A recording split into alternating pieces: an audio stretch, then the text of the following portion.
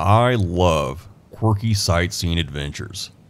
So when I heard about Cannelton, Indiana having the biggest Celtic cross in the world carved from a single piece of rock, you know I had to go.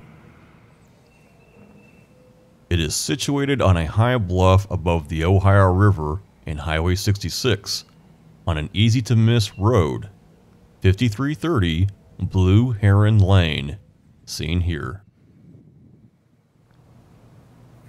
Taking the road up, you'll see a tiny sign to the right. Go that way. You'll see a split. You'll want to go straight.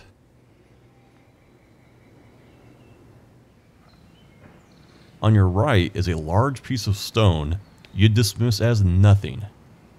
But if you stop the car and walk around it,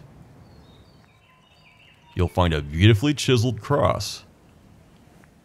But this is not the Celtic cross you're looking for.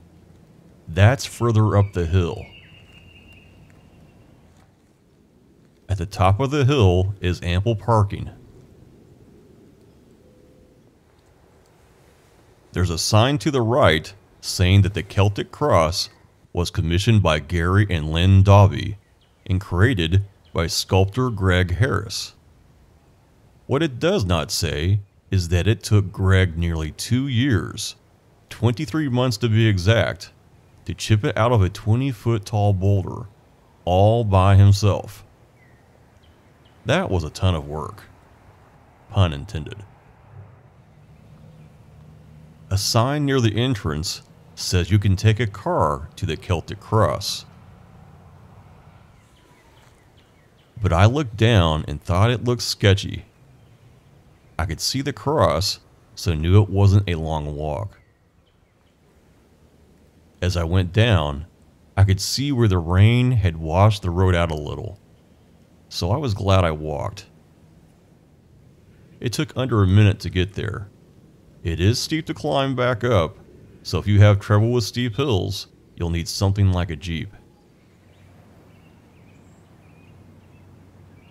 The Celtic Cross is incredibly beautiful and enormously big.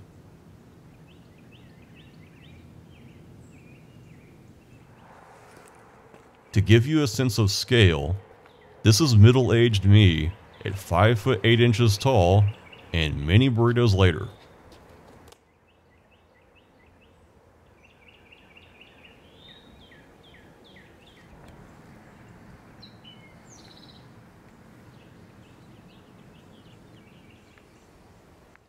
Up close, on the eastern side of the cross, it has detailed Celtic symbols.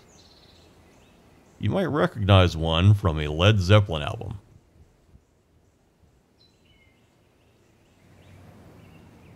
The world's largest Celtic cross, cut from a single stone, is a free and fun roadside attraction.